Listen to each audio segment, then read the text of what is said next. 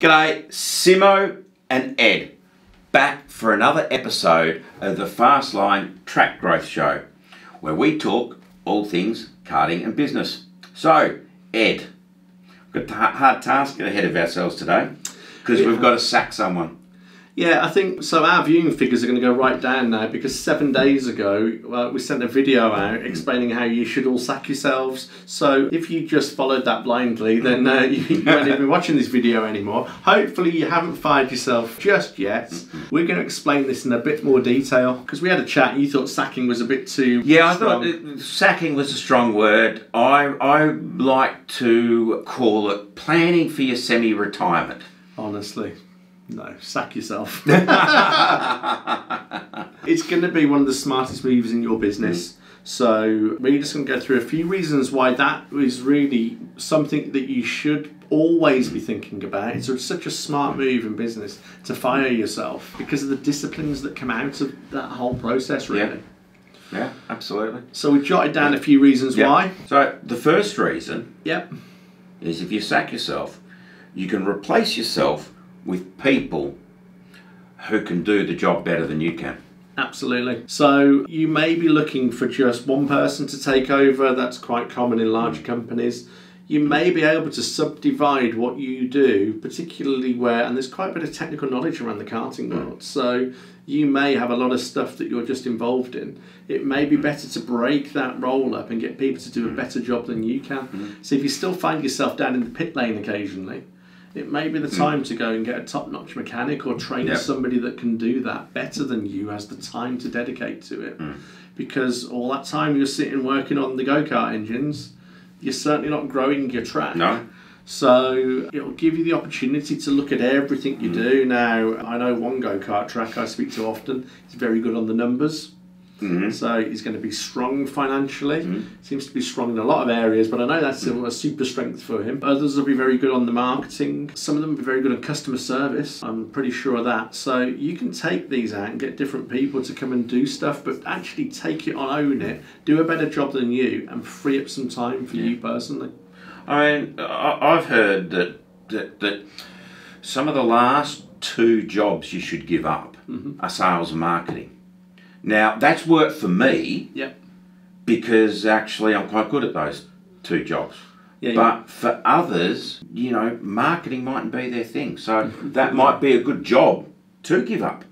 Yeah, so well, so the last thing I, uh, in fact, and I'll let you into a little secret, I'd never let, ever let go of the sales.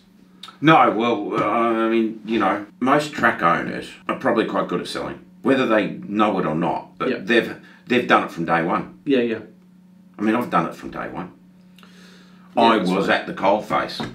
I wa I was one of those in, in the early days. I was the guy on the phone calling up the customers. Okay, I still call up customers and have chats with them, You do? but it's not my nine to five job. Yeah, but I- I've seen you walk through the offices and you know all the names of everybody, and like you see stuff and you see some of the orders going through, and you often turn around to the salespeople and say, ah, you know, was that John mm. still there? Is Joanne still mm. buying? Is Lisa mm. doing that? Is Fred doing that one? And you just know everything. You really have got your finger on the pulse for your sales. So that really is the last thing you ever let go. Yeah. If you ever meet a CEO that has let go of sales, they're either in a struggling company or they're doing extremely well. It's quite that's the big decider there. But yeah, sales is the last thing you ever let go of. So let go of you can start wherever you want really. Numbers tends to be an area that's not really fully understood. I can do it. I've got software that helps me with my business. I've got an accountant. I've got a really blooming good bookkeeper.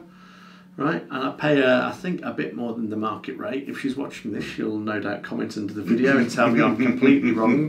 But I'm really, really happy that we're like we're working together because she's so bloody good.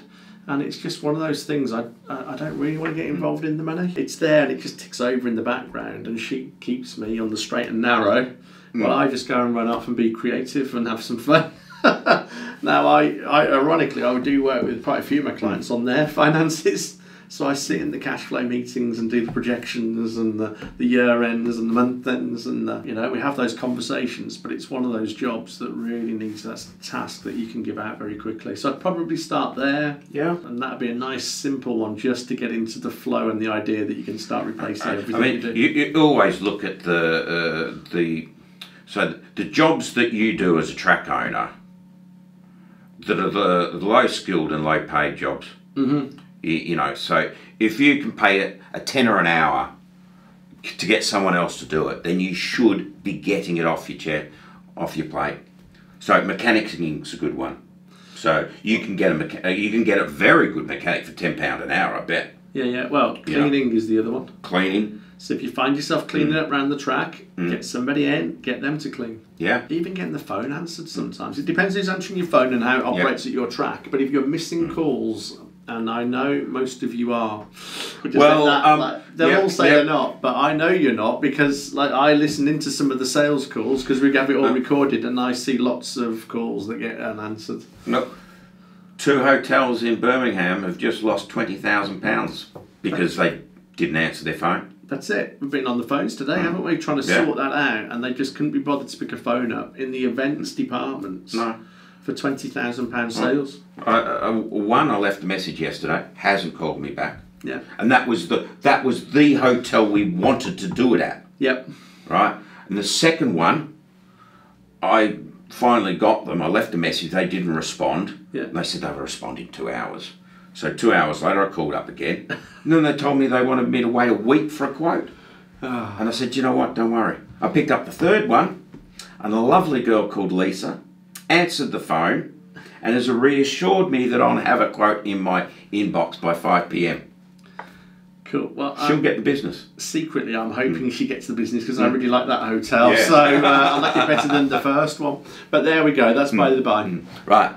Sec- second point. Yeah. So, right, once you start to give up tasks, right, maybe not on day one when it's maybe the cleaning or hmm. something, unless somebody wants to clean, but staff suddenly can start to see that the progression can be made. And as you start to actually transfer most of what you're doing, you'll start to get staff coming forward asking if they can get involved in stuff and they'll see it as a more of a career progression and all of a sudden your business becomes hmm. somewhere where they can actually get career progression. And that will hopefully keep them hmm. closer to you for longer. Yeah. so attrition on uh, in any business typically hovers around about 12 13% something hmm. like that. Maybe 15% it'll be higher or lower in different com- companies in different parts of the world. You're typically looking your staff are replacing every eight years on, on you know roughly. But they'll stay for longer Yeah. if they think there's a future for them I, I mean, y- you know, it's there's we did a restructure about four or five years ago now, and started to to put some layers of management in between me and everyone else, yeah and that has really changed. You, you know the the atmosphere of, of the place. I mean, you've got Tim, who was our marketing bod, yeah is now general manager. Yeah yeah You know, Tills, who used to be the warehouse supervisor many moons ago, he left us, got skilled up. Now he's running the warehouse. He- He's more of a logistics warehouse purchasing role. Yep. We've got Kim, who, who who works out there as warehouse supervisor.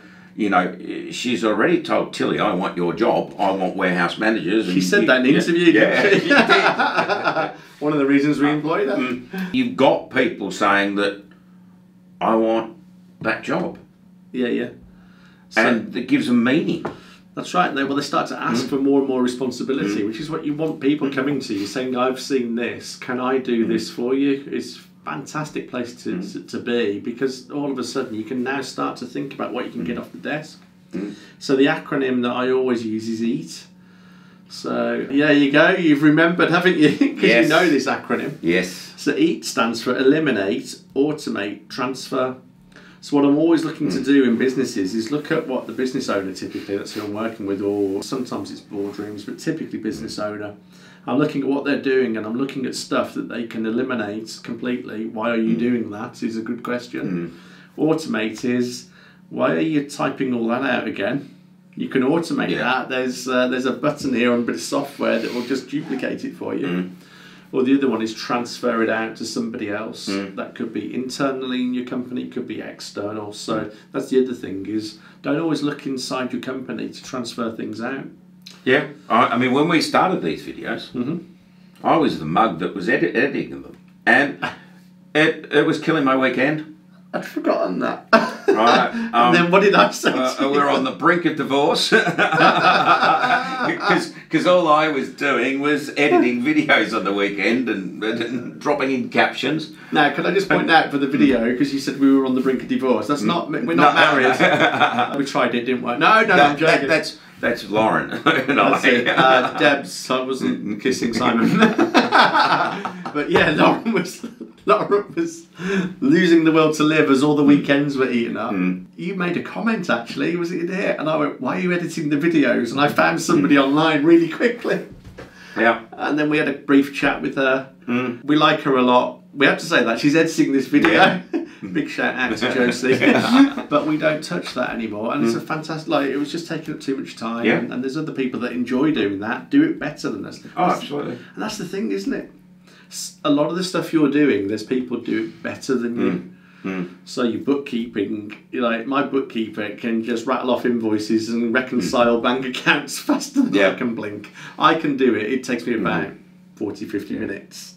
She does that in about 10. Next point. Yes. So being being able to sack yourself or go into semi-retirement mm-hmm. gives you more time to work on your business rather than your business. Yeah. So you can grow it.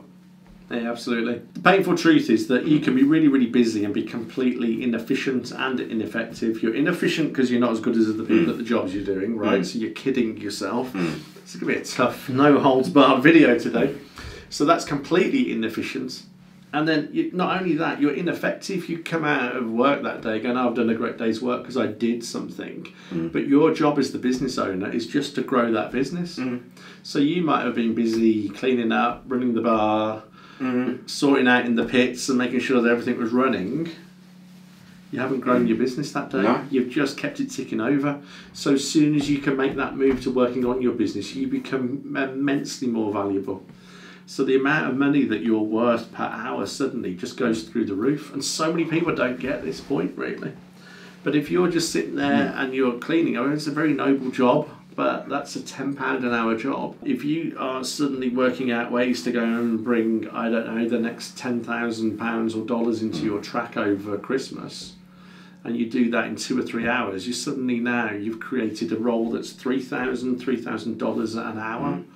So, what are you actually spending your time on, and what's the true value of that? Mm. And the true value in that is when you're working on it, the bits that grow it, not in it, just delivering the contractual stuff. So you've got to make that jump. I mean, look, we've got a cleaner here, cleans the offices, 40 quid a week, I think it is. Yep. Right now, if if I did it, oh God, it'd take me a good four or five hours, Yep. right? And you know, you sit there and you ask yourself, how many emails, marketing emails, could you write in four or five hours? Oh, crikey. Well, Christ, we could probably plan a whole campaign for uh, Dortmund, which is now Birmingham. Birmingham. we could swap the whole like karting spectacular in Dortmund to Birmingham in 25 hours, I reckon. Well, we could have done it quicker if someone would answer the phone at these bloody hotels. So if you're watching this video, I hope you're coming to Birmingham to the mm. karting spectacular because it's going to be absolutely amazing. But we changed the venue and got everything shifted over inside of 25 hours. Yeah. So I don't know what that's worth to the company long term, and we won't. It'd be too crass to talk about figures. Hmm. We may discuss some of that in the spectacular if, if it's of interest to you. But that one day of effort is worth a lot, a lot of revenue, but more than that, the goodwill of the people that are coming. So it'd just be immense. Hmm. That would be really smart working on it, not in it. Hmm. So that's that's the ultimate description of that. You know, then the next point have you got a job or are you building a business? Absolutely. I know for a fact that you did not set your go kart track up to have a job. You hmm. probably set your business up and at some moment allowed yourself to start thinking about the car you'd have, the the holidays you'd hmm. have, seeing the kids at sports hmm. day or whatever it is for you. It probably wasn't you envisaging yourself sitting behind the reception desk waiting for people to come up and have a go in your go karts. No. So the next question then is: so if you're working in your business and you're not letting people take over and you're not getting rid of these, when are you exactly going to start living this business lifestyle that you'd uh, envisaged when you set up in business? Yeah. I, I, I mean, you know, so many people do this, and I was guilty of this. up until just before we met, really. Yeah, yeah. And it, it's, it's just silly because your business is unsaleable. Yeah, yeah. You, you know, it's just a job for you. If you haven't got the structures and the processes and everything in place and documented and all of this, if it's all in your head, Mhm. it's a job. Well, that's right. And you've touched upon something there, which is the uh, selling the business. Mhm. You should always set your business up for sale, even if you don't want to. No? It's worth repeating. You should always set your business up for sale, even if you've never thought about selling your business. Because hmm. the disciplines of getting to that point in your company are so valuable to the business itself. Well, it makes the business run much smoother Mhm. and everybody knows what they're meant to be doing. Yep. And as a result, you get a better result. Yep. Well, you increase efficiencies, hmm. you get more effective again. Hmm. The great news is, is when people come and work for you as well and they start to get involved, and you'll see the newcomers, they will sit down and start to think, well, there's a bit of substance here. Mm. And it's the difference between having a proper business. Is everything documented? Do we know what's going on? Is it is the same process pretty much followed? And a lot of people will maybe feeling like, oh, that's terrible. You've just now confined me to a narrow. But it doesn't. It actually frees you up to start thinking more creatively. Yeah. Yeah, sure, it's a bloody task to get it down on paper. Oh, it's not easy. You easy. know, and we haven't finished, yeah, yeah, but we've made a start. Yep, We're making progress. yep, and you know and and having it written down and all that gives us the ability to tweak it too it provokes and promotes questioning within the mm. business, doesn't it? And when Yeah. somebody comes up and says, "Well, I'm writing this bit of the manual," or um, "I've noticed mm. this is happening. How do we do this again?" And somebody says, "Well, we do this," and somebody else says, "Actually, we do it this way." You're like, "Hang on a minute, like, whoa, are we doing this two different ways? Is this why we've had a problem hmm. in the past?" So just that whole process Yeah. of just being allowed to rethink parts of your hmm. business and remodel it is a fantastic opportunity to do that. at some point you're going to want to want to exit your business Mm-hmm. right whether it be selling it Yeah. whether it be retiring or passing it on mm-hmm. to a family member Yep. if this is going to happen and it's going to happen Mhm. You need to plan for it and, and it's not it's not a 90 day plan it's not even a year plan this is probably going to take what three to five years But it is interesting. though, I was playing golf uh, recently, that's not the interesting bit. Um, uh, one of the guys I was playing golf, golf? with, yeah, well, I could talk you through the round, but no. The interesting thing was that the guy I was playing golf with, he sells sells businesses, business broker, and we got into some conversation, and I was talking about exit and why it's a really smart idea, and some of the sort of interesting bits that we found interesting between us. And I said, you know, typically it's a three year plan, isn't it? And he turned around and he went, No, it's a five year plan. And I'm like, Well, that's interesting. No, I think it's just because I work harder than him, but. and I kick my ass when he sees it, the golf. I think he watches these videos. no, but he's talking five year strategy and I'm talking three year. And quite often I meet business owners who say, Right, can you come and help me through this next bit of my business? Yeah, what are we doing? I'm looking to sell it at the end of next year. And I just look Right. at them going, Uh. right, here we go. But you can't just say that. So I normally ask a few questions and then we get a little bit deeper. And after a couple of weeks, they go, we're not going to sell next year, are we? No. Now, the difficult bit when that happens is the business owner that's got in their head that they just they've worked I don't know thirty years in the business they've put their all in they're knackered they just want to go and sort of you know enjoy their retirement and they've been working in it not on it. Mm. Then sitting down with them and explaining that yes we're going to get to the end of next year and then there's going to be another 24 months of this. Three years sounds like a bloody long way away. Yeah now we all know we're in business. That flies by in the blink of an eye. But at the moment when you're thinking you you're nearly out of this, crikey, that is uh, that's a real kidney punch. That is. Yeah. And that is tough to take. You should always have your business in a state where it's ready to be sold. And then that, I mean, it'll be different in different countries. But if you're in the UK, you've got something called entrepreneurs taper relief. So you're only paying you're only paying ten percent tax on that. So it's super tax efficient to go and sell businesses in the UK. So that's great because you don't quite need as much money as you thought you'd need for your business mm. to go and get the same amount. Typically, what happens though is you do get that amount of money, mm. and you suddenly find you've got more cash available. But if you've done the bit where you've got out the business completely, where it's all documented, where you've been working on it, and you show them how growth mm. can be made.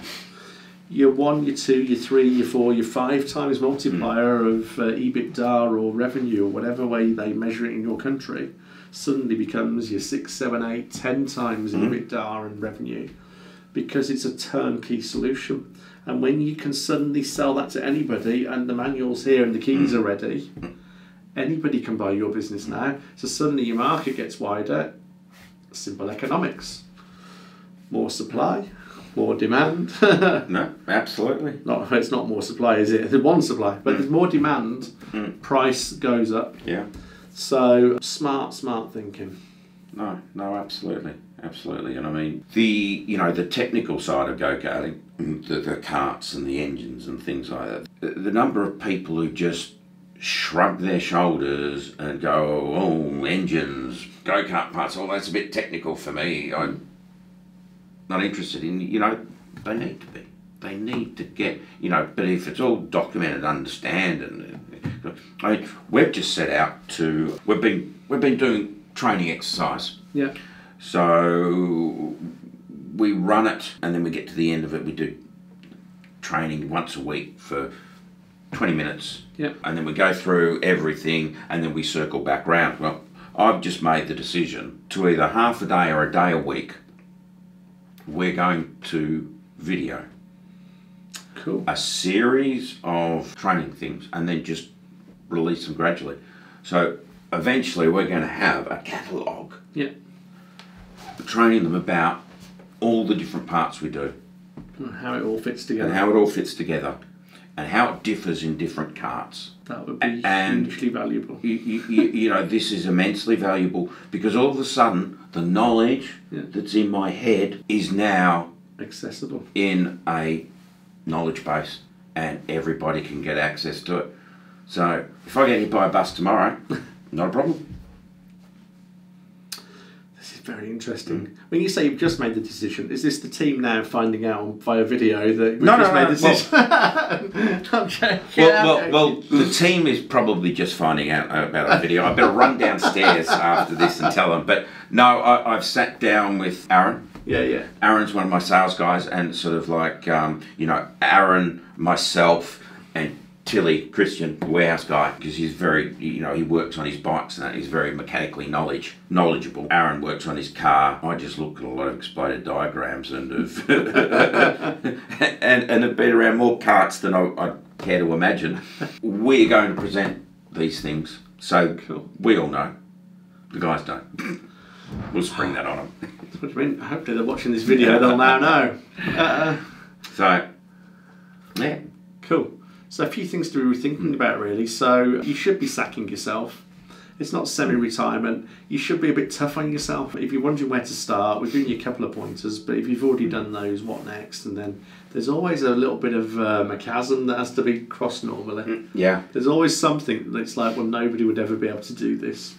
And um, that's just not true. If that were true, NASA would never get a rocket into the sky. Um, so we can do that. We can do that for your business. So um, if you're struggling with anything, but you like the idea that you know this is a smart way forward, and it really is, reach out and have a chat. Or even better, come to Birmingham. This karting spectacular is in Birmingham, January 13th to 16th. Yeah. We- And now looks like I'm organising a road trip to go and visit karting venues in the area for all of the international attendees. Yeah, it's sort of we'd have always wished to be in Dortmund, I think, but the fact that it hasn't happened was a bit of a blow for a few hours. And mm. then as we've got into it, it's actually been one of the smartest, best moves for a Oh. while because we're here in the UK. We know a lot of go kart track mm. owners in the UK. It's enabled us to go and add a bit more to the itinerary. I think it's going to be hugely useful because I know some of the tracks we're going to, Yeah. and I just think that will be time well spent. Yeah. And it, it seems to me that Birmingham is a little bit easier to get to than Dortmund. Definitely. So that was poor, causing a lot of trouble for some of our attendees. You know, one guy, guys up in Scotland, were travelling seven hours Seven hours to get because there's no direct flight. No. Oh, okay. Now, now a direct flight would what be two, two and a half maybe to Scotland? Something like that. Uh, Anyway. It wouldn't be far. but seven. Now they can have a nine hour journey hmm. down to Birmingham. Good. There was three of them coming, so I've saved them sixty hours. Oh, we'll maybe Conversation. save that for another video. All right. Well, that's probably a good place to stop this one. yeah, I think it, it, it's it's bound to promote and provoke uh, questions. If you've got anything that's running through your hmm. head, either type it in the comments below. If it's a bit too personal, do what others have done. Hmm. And- E- email into Yeah, us. yeah. We'll, we'll talk one on one. And and just remember, this isn't a quick fire. It will be a slow fire. A slow burn. yes, you've got to get things put into place so you can sack yourself. Yeah. I look forward to you being sacked. Right. So, well, that's goodbye from me, Cheerio from me. and we'll see you next week. I look forward to it. See you soon. Ciao.